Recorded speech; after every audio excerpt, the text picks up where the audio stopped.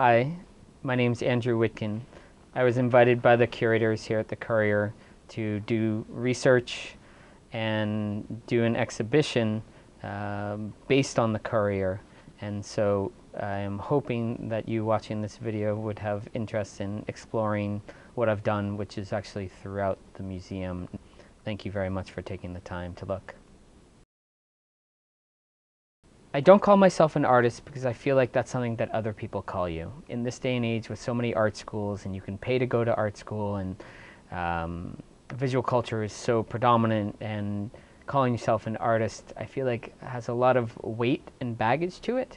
And for me, I don't reject it if somebody else calls me an artist, but I feel like I'm Andrew Witkin, and I do research, make projects and exhibitions and installations and performances, actions, and all sorts of other things, but uh, I don't call myself an artist. And I was wonderfully invited uh, by Nina, architecture of the uh, building, contemporary I curator, and like, Megan, the who wiring. serves as archivist and librarian, to come into the Currier and explore the library and archives. That was the starting point, and it was entirely open-ended. And what would come out of it, they, I don't think, had any idea, because I certainly didn't. Um, but it was a wonderful opportunity just to come um, for many days and just look, explore, read, ask questions, and slowly different elements took form. I was originally looking towards doing an exhibition that was in a specific open room and would have works from the collection, that sort of thing.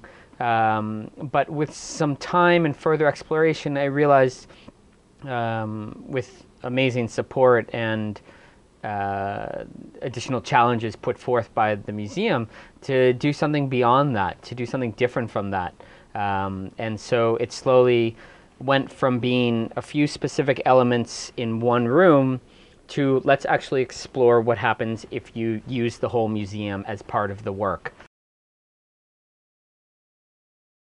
So the project takes place in a good number of spaces throughout the museum and one could wonder how am I supposed to look through this or what is the proper order?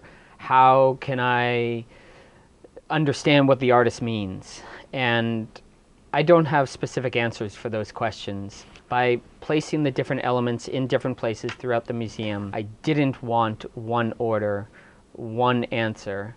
It's really about each individual deciding, choosing, and acting on what they're interested in, which is how the project began. I'm often asked, "What is what is your work about? What is what is this about?"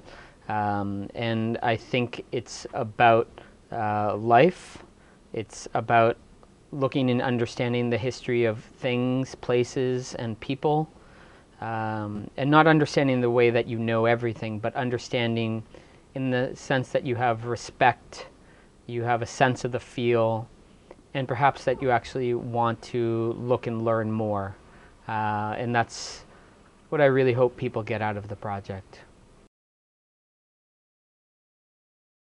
So many people have made so many things, have taught so many things, have researched things, have helped other people do all of those activities as well. None of this would have been possible without all of those histories. We're in an age where people are looking at histories and trying to understand fuller stories. And for me, my appreciation is for the museum giving me the opportunity to explore a story that is in a web that involves the Currier. And in order to do that, are all the people who made that web, who built that web. And it's quite, quite amazing wealth of talent that did so.